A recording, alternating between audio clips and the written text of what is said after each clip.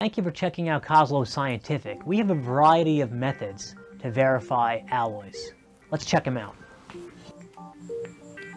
Today I will be demonstrating the Spotter 316, a spot test kit used for the verification of stainless steel 316.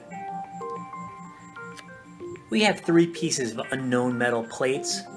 Let's find out which gives the same result as the metal standard that's provided with the kit. I tear off a single sheet of the moly paper and lay it down on the test metal. Insert the cartridge.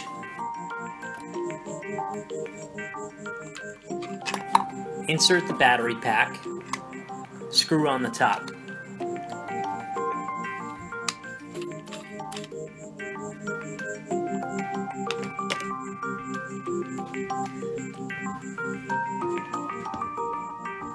Hold the probe steady for about a count of five. The blue light indicates that proper contact has been maintained.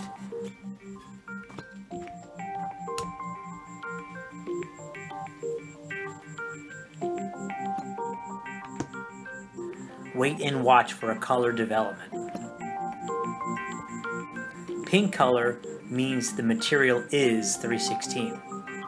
If you don't see pink, it's not a stainless steel 316. It's that simple.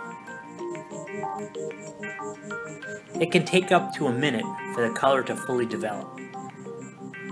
This kit is reliable and an approved method.